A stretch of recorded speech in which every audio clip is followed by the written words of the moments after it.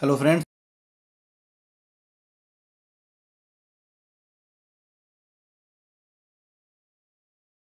कर लीजिए, वीडियो को लाइक कीजिएगा शेयर कीजिएगा और कमेंट में ज़रूर बताइएगा कि आपको वीडियो कैसी लगी। अगर आपको पीडीएफ चाहिए तो वो आपको वीडियो के डिस्क्रिप्शन में मिल जाएगी। आज का देवाक्य है, जो मेहनत पर भरोसा करते हैं, वह किस्मत की बात कभी नहीं करते। मेहनत करते रहिए, किस्मत भी आप बदल सकते हैं। आप में इतना दम और इतनी मेहनत करने की शिद्दत होनी चाहिए कि आप अपनी किस्मत को बदल दें। हेलो फ्रेंड्स, मैं सुमित और आप देख रहे हैं एग्ज़ाम ओरिएंटेड 3.0 चलिए शुरू करते हैं।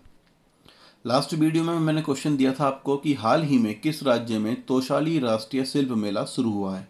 ये जितने भी मैं क्वेश्चन आपको पूछता हूँ, ये सारे करंट अफेयर ही हैं, ठीक है? बस पिछले करंट अफेयर्स हैं जो कि आप कम से कम इसके बहाने भी कुछ पिछला पढ़ सकें। तो इसका राइट आंसर है उड़ीसा। आज का सेशन शुरू करते हैं। पहला क्वेश्चन है, कोटक महिंद्रा बैंक ने किसे अतिरिक्त स्वतंत्र निदेशक नियुक्त किया है? तो ये हैं अशोक गुलाटी। ये हैं वो अशोक गुलाटी। निजी क्षेत्र के कोटक महिंद्रा बैंक ने कृषि अर्थशास्त्री अशोक गुलाटी को अपने निदेशक मंडल में अतिरिक्त निदेशक नियुक्त किया है। गुलाटी हालिया कृषि कानूनों के प्रबल समर्थक हैं। उच्चतम न्यायालय द्वारा नियुक्त चार संसदीय समिति में भी गुलाटी शामिल हैं।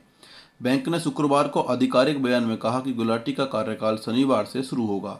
उनका कार्यकाल पाँच साल का होगा। कोटक महिंद्रा बैंक के गैर कर्मचारी चेयरमैन प्रकाश आप्टे ने कहा है, राष्ट्रीय और अंतर्राष्ट्रीय कृषि क्षेत्र पर उनके दृष्टिकोण तथा शोधकर्ता तथा ग्रामीण अर्थव्यवस्था पर लेखक के उनके अनुभव से हमारे बैंक। नेक्स्ट क्वेश्चन है देसीकन भवन का उद्घाटन किसके द्वारा किया गया? तो ये किया गया है डॉक्टर हर्षवर्धन सिंह के द्वारा। हर्षवर्धन ने आगरा में आई सी एम आर और ओ एम डी में नए अनुसंधान भवन देसी कन भवन का उद्घाटन किया और भारत के माननीय केंद्रीय स्वास्थ्य और परिवार कल्याण मंत्री डॉक्टर हर्षवर्धन ने आगरा में आज I C M R N J I L और ओ एम डी में कोविड नाइन्टीन की नैदैन में नए दैनिक सुविधा से सुसज्जित नए अनुसंधान भवन देसीकन भवन का उद्घाटन किया। नेक्स्ट क्वेश्चन है, मैत्री सेतु का निर्माण भारत और बांग्लादेश के मध्य किस नदी पर किया गया है? तो यह है फिनी। प्रधानमंत्री नरेंद्र मोदी मंगलवार के दिन भारत बांग्लादेश के रिश्तों को नई ऊंचाई पर पहुँचाने वाले मैत्री सेतु का उद्घाटन करने जा रहे हैं। ये सेतु त्रिपुरा राज्य की फैनी नदी पर बना है। फैनी त्रिपुरा और बांग्लादेश के बीच बहने वाली एक नदी है। प्रधानमंत्री नरेंद्र मोदी 9 मार्च 2021 को दोपहर करीब 12 बजे एक वीडियो कॉन्फ्रेंसिंग के माध्यम से मैत्री सेतु का उद्घाटन करेंगे। पीएमओ की वेबसाइट के अनुसार इस दौरान प्रधानमंत्री नरेंद्र मोदी त्रिपुरा राज्य में कुछ इंफ्रास्ट्रक्चर प्रोजेक्ट का उद्घाटन और शिलान्यास भी करेंगे। मैत्री सेतु दोनों देशों के बीच मज़बूत होते संबंधों को प्रदर्शित करता है। इसका निर्माण National Highway and Infrastructure Development Corporation Limited द्वारा किया गया है, जिसकी कीमत करीब 133 करोड़ रुपए आई है। 1.9 किलोमीटर लंबा यह ब्रिज भारत में त्रिपुरा राज्य के सब रूम को बांग्लादेश के रामगढ़ को जोड़ता है, जो ये पुल दोनों देशों के बीच के व्यापारिक संबंधों और लोगों के आवागमन को सरल करने में बहुत बड़ी भूमिका निभाने वाला है। नेक्स्ट क्वेश्चन है, Swiss Open Super 300 badminton tournament 2021 में किस भारतीय महिला बैडमिंटन खिलाड़ी ने रजत पदक जीता है? तो ये हैं पीवी सिंधु, ये हैं वो पीवी सिंधु। पीवी सिंधु ने Swiss Open Super badminton tournament में रजत पदक हासिल किया।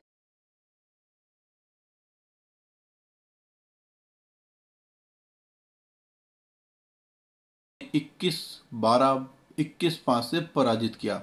सिंधु ने सेमीफाइनल में डेनमार्क की मिया ब्लिसफेल्ड को 22 बीस, इक्कीस, दस से हराया था। सिंधु तेरह टूर्नामेंट के बाद पहली बार किसी प्रतियोगिता के सेमीफाइनल में पहुँची थी। नेक्स्ट क्वेश्चन है, हाल ही में जी आई महोत्सव का उद्घाटन कहाँ किया गया है? तो ये हुआ है मसूरी में। दो दिवसीय इस महोत्सव का आयोजन केंद्रीय लाल बहादुर शास्त्री राष्ट्रीय प्रशासन अकादमी मसूरी में किया गया। इस महोत्सव का आयोजन भारतीय आदिवासी सहकारी बिड़पन विकास महासंघ द्वारा किया गया। नेक्स्ट क्वेश्चन है, sixty नाइनवे senior national volleyball championship का उद्घाटन कहाँ हुआ है? तो ये हुआ है उड़ीसा में। उड़ीसा के चीफ मिनिस्टर हैं नवीन पटनायक, गवर्नर हैं गणेशी लाल और यहाँ की राजधानी है भुवनेश्वर। केंद्र शासित प्रदेश जम्मू कश्मीर की लड़कियों ने 69वीं सीनियर नेशनल वॉलीबॉल प्रतियोगिता में बेहतरीन प्रदर्शन करते हुए अपनी प्रतिद्वंदी केंद्र शासित प्रदेश लद्दाख लद्दाख की टीम को तीन सेट से मात देकर शानदार शुरुआत की। भुवनेश्वर स्थित के आईआईटी यूनिवर्सिटी में जारी गत पाँच मार्च से प्रतियोगिता के मुकाबले शुरू हो गए हैं। 69वीं सीनियर नेशनल वॉलीबॉल प्रतियोगिता के मुकाबले 11 मार्च को संपन्न होंगे। सोमवार को महिला वर्ग के पहले मुकाबले में केंद्र शासित प्रदेश जम्मू कश्मीर की टीम ने केंद्र शासित प्रदेश लद्दाख की टीम को 25-16, 25-11 और 25-7 से मात देकर जीत हासिल की। रोचक तथ्य यह है कि लद्दाख की टीम ने पहली बार सी सीनियर नेशनल वॉलीबॉल प्रतियोगिता में भाग लिया है। Volleyball association of Jammu Kashmir के सीईओ कुलदीप मंगोत्रा उप प्रधान अहमद शाह महासचिव बी के मगोत्रा कोषाध्यक्ष R C Sharma coach Balwinder Singh और अन्य पदाधिकारियों ने टीम को पहली जीत के लिए मुबारकबाद दी है। अगर आप यहाँ तक आ चुके हैं तो प्लीज़ जल्दी जाइए सब्सक्राइब कर लीजिए वीडियो को लाइक कर दीजिए और आपको अच्छा कंटेंट लगता है अच्छे क्वेश्चन लगते हैं तो कमेंट ज़रूर कीजिए और अपनी राय हमें बताइए। देखते हैं अगला क्वेश्चन पहले जंगल ही, जंगल हीलिंग सेंटर का निर्माण किस राज्य में किया गया? तो ये किया गया है उत्तराखंड में। उत्तराखंड के गवर्नर हैं बेबी रानी मौर्य, राजधानी है देहरादून जो कि विंटर की है, और गिरसेन जो कि समर की है। मैंने चीफ मिनिस्टर इसलिए नहीं बताए क्योंकि हाल ही में अभी उन्होंने अपना त्यागपत्र दिया है, जो कि त्रिवेंद्र सिंह रावत थे, उन्होंने अपना अभी इस्तीफा दिया है। तो अब देखते हैं नए कौन बनते हैं।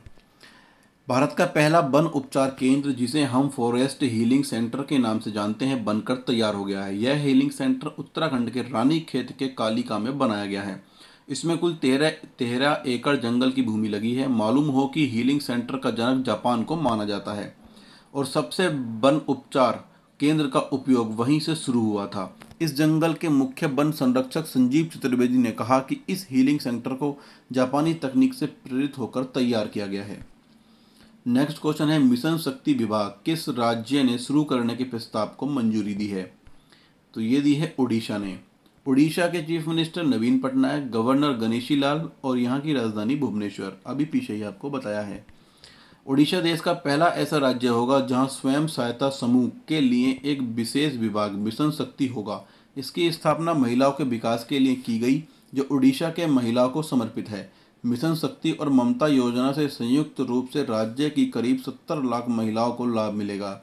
पंचायती राज में महिलाओं को 50 प्रतिशत आरक्षण देने से महिलाओं के सामाजिक, आर्थिक विकास के नए युग की शुरुआत हुई है। नेक्स्ट क्वेश्चन है, हाल ही में किस देश के नागरिकों ने बुरका या नकाब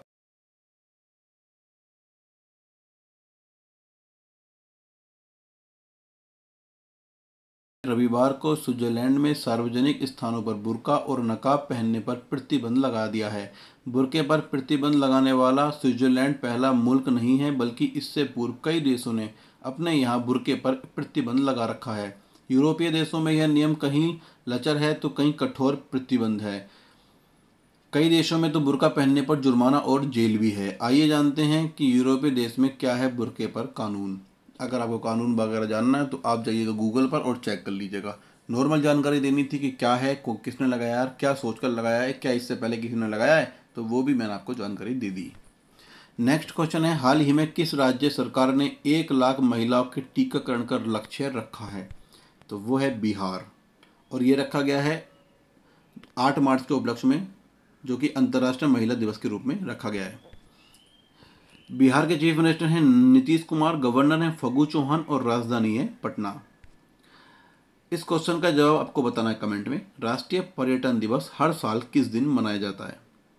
अगर आपको वीडियो अच्छी लगती है तो लाइक कीजिए, शेयर कीजिए, सब्सक्राइब कीजिए, बेल आइकन को ऑन कर लीजिए। पीडीएफ चाहिए तो वो आपको वीडियो के डिस्क्रिप्शन में मिल जाएगा। वीडियो को लाइक ज़रूर कीजिएगा और सब्सक्राइब ज़रूर कर लीजिए। बेल आइकन को भी ऑन कर लीजिए। अगर आपको कुछ भी अच्छा लगता है, कुछ भी ख़राब लगता है, कुछ चेंज चाहते हैं तो आप कमेंट में हमें ज़रूर बताइएगा। कोशिश करेंगे कि आपका जो है, जो भी आपका विचार होंगे, वो हम उस पर अप्लाई कर सकें, कुछ सुधार कर सकें। तो बने रहिए हमारे साथ, अच्छे करंट अफेयर के लिए बने रहिए।